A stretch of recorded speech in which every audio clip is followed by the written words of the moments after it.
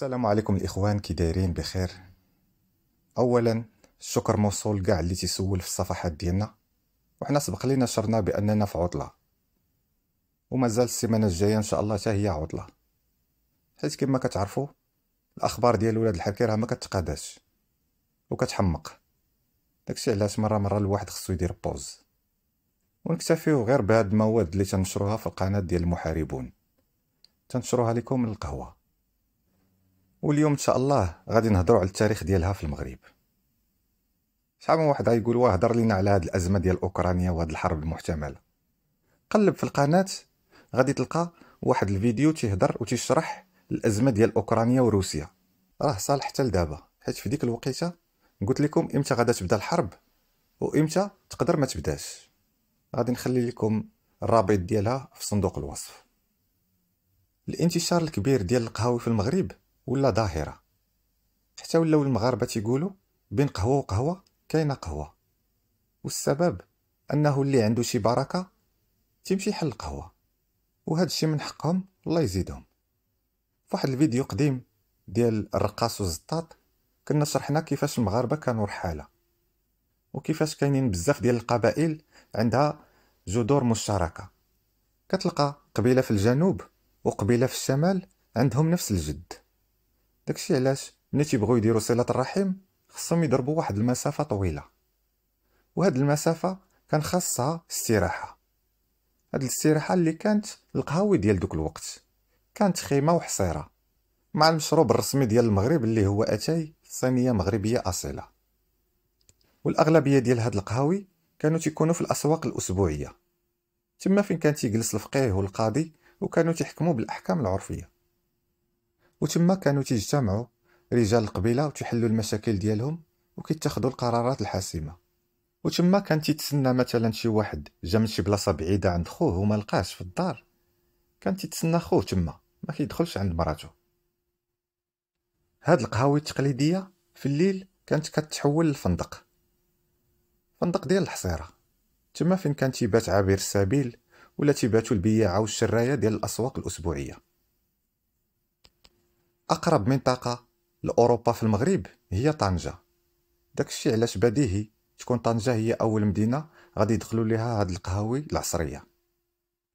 فهادوك القهاوي كانوا تيديروا اللقاءات ديالهم والندوات واخا ما كانتش فيها الفخامة كانت قضية الغرض. هاد القهاوي كانوا في الأول تيخدموا فيهم غير الأوروبيين. من بعد طنجاوه من ولاو تيتعلموا شوية لونجلي ولاو تيتخشاو معاهم شوية بشوية. طنجاوه هما أول مغاربة حيدوا الجلالب ولبسوا اللباس الأوروبي. وهما أول من تبلى بالقهاوي. كانوا تيمشيو تما يدبروا على ريوسهم. كمترجمين أو تقلبوا على شي بيعة وشرية مع الأوروبيين. القهاوي ديال طنجة كانت فيها واحد الظاهرة. هي أنه كان تيجيو لها بزاف ديال الجزائريين اللي كانت البلاد ديالهم محتله في ذاك الوقت. ومنهم كان ولد الأمير عبيقة. 1990 القنصل الأمريكي إيدموند هولش غادي يكتب واحد المذكرة. غتكون وحدة من أقدم الشهادات التاريخية في وصف القهاوي في المغرب. واللي غادي نقول لكم منه هاد الحوار اللي دار بينه وبين الموظف ديالو في واحد القهوة. القنصل الأمريكاني قال للموظف ديالو شفتي هذاك المغربي اللي جالس حدا مسيوكيو راه تيشير بيديه للسرباي بغاش مشروب هذاك راه السي حمد بن محمد بن عبد القادر. وسمعتي بيه شي نهار. جاوبو الموظف قال لي لا. رد عليه القنصل وقال OK. هذاك راه محقق في الشرطة الدولية. هذاك راه باه كان أمير جزائري. وفرنسا كتخلصو بالعام غير باش يبقى خارج الجزائر. باه كان قاد المقاومة في 1940 ضد الفرنساويين. الموظف سولو وقال وكيفاش دابا ولا فرنساوي؟ للتذكير أن دحمد بن محمد بن عبد القادر كان لابس اللباس ديال الأوروبيين وكان تيهدر الفرنساوية بطلاقة كي بحال الفرنساويين داخ فيه حتى الموظف. رد عليه القنصل وقال هادشي ما عرفوش لا لا ما نقدرش نقول لك. اللي نقدر نقول لك هو أنه دابا ولا محقق في الشرطة الدولية.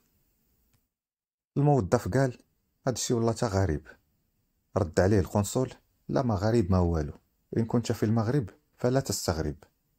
هاد السي حمد اللي كتشوف مشى للقبيلة ديال الهياينة وبدا تيحرش القبيلة باش يثوروا ضد السلطان. داكشي علاش الفرنساويين مشاو عيطوا عليه وعطاوه هاد المنصب باش تهدى القضية. حيت ما قادرينش على الصداع هاد الساعة. يمشي السلطان يحرك الجيش ديالو ويمشي يدخل في القبيلة ويكمل ويقدر يدخل في قبائل أخرين اللي في الجزائر تحت النفوذ الفرنسي.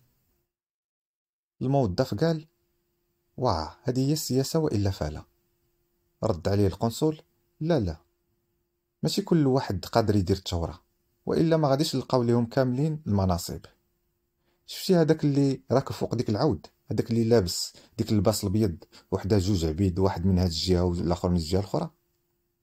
هذاك هو القباص هذاك هو الممثل ديال السلطان في طنجة ولكن ماشي قوي بالمكانة ديال طوريس طوريس اللي حمق الأوروبيين. واللي هو أقوى مفتش للشؤون الخارجية جا المغرب. وهو اللي لعب مع الأوروبيين اللي كانوا بغاو يحتلوا المغرب. وقال كذبة وحدة غادا تخلي أوروبا مشغولة على المغرب لمدة عام. وحنا عندنا خزنة كبيرة ديال الكذوب. طوريس كان دبلوماسي حقيقي.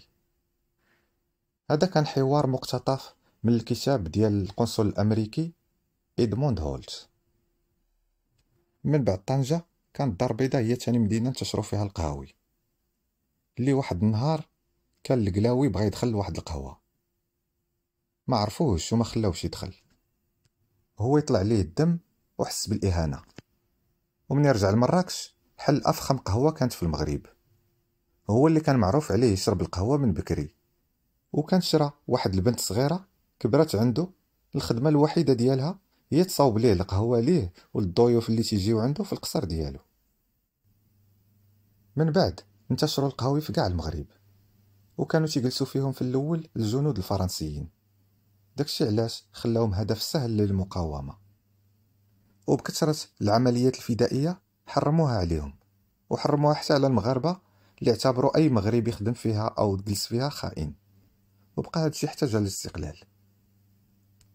دابا القهاوي ولاو منتشرين بواحد الشكل مخيف.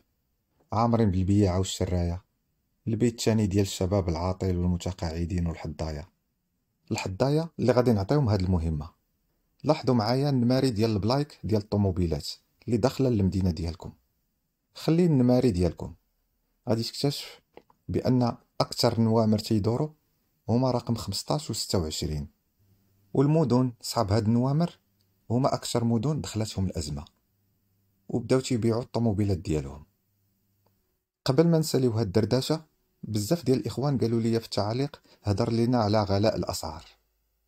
اللي متبعنا من شحال هادي؟ من صحاب الفيسبوك ماشي من صحاب اليوتيوب.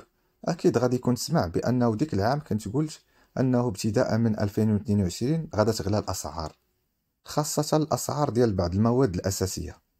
بحال القطاني مثلا اللي هما ليها زادوا في الثمن ديالها باش يعوضوا الخسائر ديال كورونا. وكنت قلت لكم وجدوا ريوسكم لهذا الغلاء.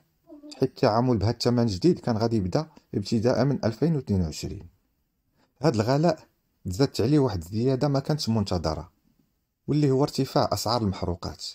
واللي كما كتعرفوا ارتفاع ديال أسعار المحروقات تيرفع كلشي حيت كلشي خصو ترونسبور كلشي خصو يزيد عليك الثمن ديال ديك الزيادة. والسبب المباشر هي أزمة أوكرانيا. الأمريكان مشات تتحرش بروسيا تما وفي كازاخستان. وردت عليها روسيا بإيران. اللي حركات الحوثي يضربوا السعودية والإمارات. وها السعودية كتقاس كيتخربق السوق الدولي ديال المحروقات. وكلشي كيبقى يشري ويخبي. وكيرتفع الطلب. ومع ارتفاع الطلب كترتفع الأسعار. والقضية راها مازال مطولة. سبقت كنت قلت بأن غير ثمن البرميل ديال النفط ملي تيوصل ل 80 دولار المغرب تيبدا يدخل في الأزمة وحنا دابا راه فتنا 100 دولار. يعني الدولة خاصها دير واحد الخلية ديال الأزمة وتشوف شي حل أو تدعم هاد الأسعار. حيت الناس راه ما غاديش تقدر تبقى تقاوم. بركة عليها غير الأزمة ديال كورونا اللي باقي ما خرجوش منها. إلا بغات الدولة ما يكونش انفجار مفاجئ. خصوصا في هاد الظرفية الحساسة اللي كاع الأعداء تيتسناو هاد الفرصة وتيتسناوك طيح إخوان نكتفي بهذا القدر. دائما المغرب هو الأصل والباقي تقليد. تحياتي.